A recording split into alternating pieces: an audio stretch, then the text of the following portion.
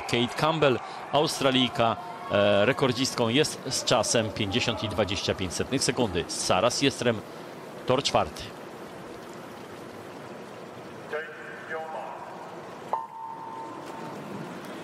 Rozpoczął się już wyścig. Patrzymy, jak zareagowała reprezentantka Polski Katarzyna Wasik. 65 setnych sekundy e, lepiej wystartowała na sygnał i ruszyła do wyścigu Kornelia Fietkiewicz, która bardzo dobrze teraz płynie po 25 metrach. Reprezentantka Polski jest e, w czołówce, ale widzimy, jak mocno rozpoczęła Sara Siestrem.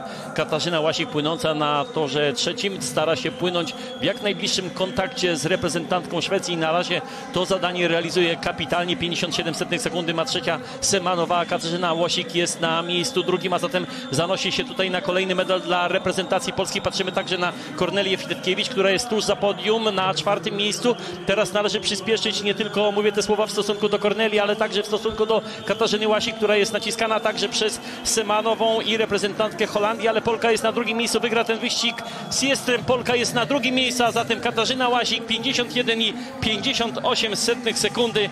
Kapitalny wyścig w wykonaniu reprezentantki Polski, a Kornelia Fietkiewicz, tak jak zakwalifikowała się z ósmym czasem.